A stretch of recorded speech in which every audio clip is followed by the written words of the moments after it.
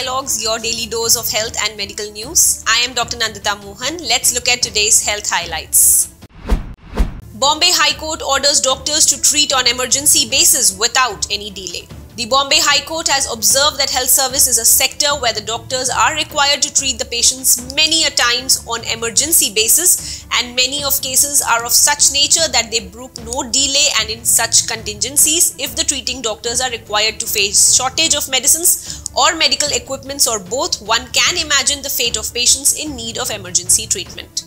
The Nagpur Division Bench of Justice Sunil B. Shukre and Justice M. W. Chandwani noted that on earlier occasions, the High Court had repeatedly directed the state government to decentralize the purchase of medicines and medical equipments so that reasonable financial autonomy is achieved in this regard, which would ultimately serve the interests of the patients. That's all for today. Stay safe.